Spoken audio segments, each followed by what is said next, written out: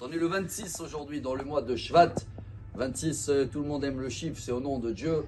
Et justement, quand Dieu il nous a proposé la Torah dans la paracha de cette semaine, on a répondu Naase Venishma. Tout le monde connaît ces deux mots-là, que et grâce à ça, on a été choisi. hein.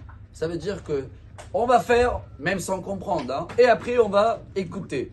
Il y a une histoire connue dans le Talmud, Shabbat, page 88, avec euh, un rabbin qui s'appelait Rava, et qu'il était assis dans l'étude, il était tellement concentré qu'il n'avait pas remarqué qu'il y avait du sang qui coulait de un de ses doigts. Il a dû les écraser quand il était assis.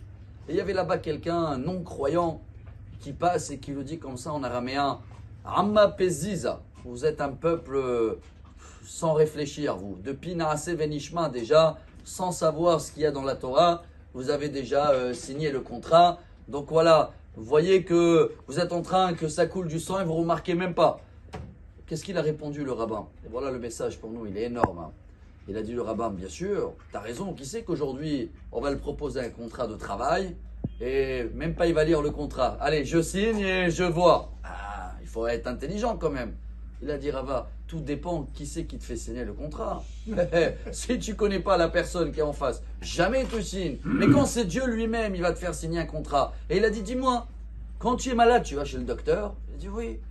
Et toi, tu comprends tout ce que le docteur il te dit? Prends tel et tel médicament et telle et telle chose. Peut-être il vaut mieux d'abord de. Allez, va étudier la médecine. Va étudier pendant 7 ans ou 10 ans. Et que après, tu vas prendre des cachets si tu es malade. Non, on fait confiance au docteur dans les domaines qu'on ne connaît pas.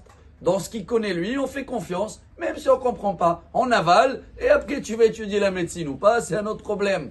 Dans la Torah, chers amis, et c'est tellement beau, on a un devoir, on a été signé le contrat par le maître du monde. Celui qui a créé le monde, celui qui nous a dit, d'abord il faut faire pour que ça fonctionne bien, que chacun y trouve son chemin, que le monde y trouve son chemin. On a une mission à faire. Mais il ne faut pas qu'on oublie, chers amis. hein. Même si on a signé et on doit faire, on s'est engagé quand même, Venishma. C'est quoi Venishma? On doit quand même essayer de, je ne vais pas dire étudier la médecine, hein, mais de comprendre un petit peu tous les règles, car tout ce que Dieu nous a imposé, sauf la vache rousse, tu vas pas comprendre, parce que même le roi Salomon, il n'a pas compris. Mais tout le reste, sauf la vache rousse, il y a du travail à faire. Alors, euh, on va essayer de s'investir, de travailler, et même les maximes de Père, il nous dit dans le troisième chapitre.